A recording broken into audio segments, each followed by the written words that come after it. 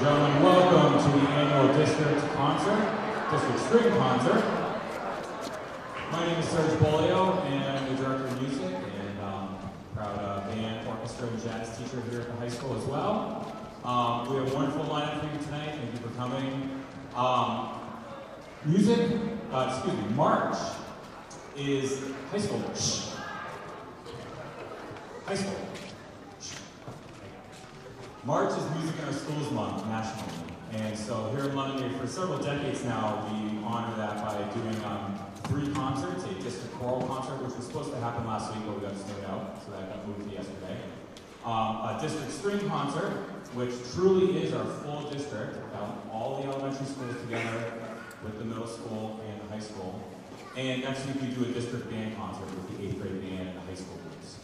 So um, I have a few people to thank before we start. First off, um, we got video going for tonight, which is um, Ultra 4K, super high def, whatever. That will be posted to our lancermusic.org, um, excuse me, Lancer Music uh, YouTube channel. And so you can find all that video posted there, and that is all being taken care of by Ryan Barrett over there in the corner. Thank you, Ryan. And then, um, last but not least, we also out the programs um, and collecting donations, and that is our Friends of Music organization. A nice round of applause for them. And other than that, I think we are all set to go. You guys good? All right. So without any further ado, we have the All District Elementary Orchestra under the direction of Molly Goldstein.